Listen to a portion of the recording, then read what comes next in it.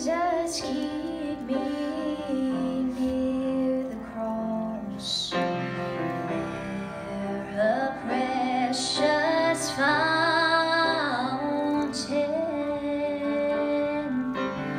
free to all, a healing stream flows from Calvary's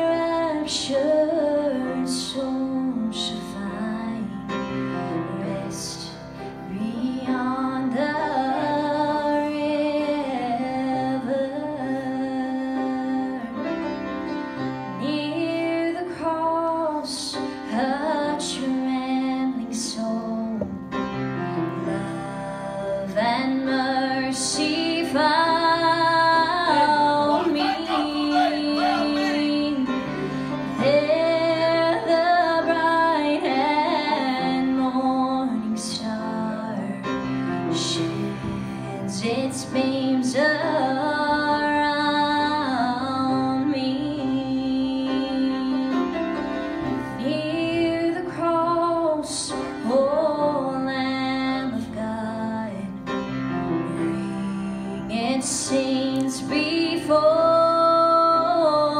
me. Help me walk from day to day with its shadow